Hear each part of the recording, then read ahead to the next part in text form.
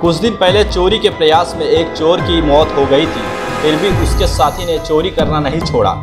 रफीक पठान चोरी की कोशिश करते रंगे हाथ पकड़ा गया।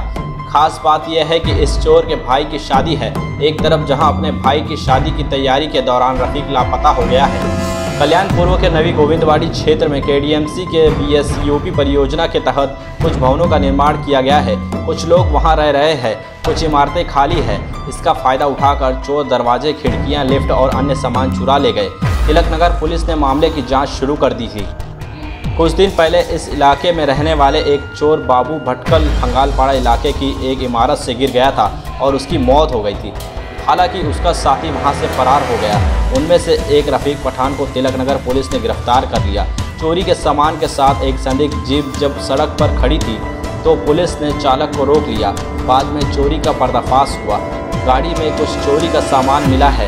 रफीक के साथ और कितने लोग हैं? तिलकनगर पुलिस अधिकारी प्रदीप बागले जाँच कर रहे हैं। प्रकार आहे अ, रात्रपाळीची आमची पोलिसाची टीम ही नेहमीप्रमाणे गस्तीवरती होती.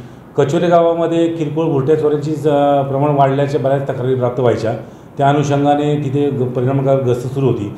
आज सकाळी साडेसात सातच्या सुमारासामध्ये आमचे ए पी ए वाकले आणि टीम ही बी एस यू पी बिल्डिंगच्या बाजूला तिकडे गस्त करत एक संशयित म, महिंद्राची पिकअप गाडी दिसली. म्हणून त्यांनी जाऊन चौकशी केली असता त्या गाडीमध्ये आणि पाहणी केली असता त्या गाडीमध्ये भंगार माल मिळून आला.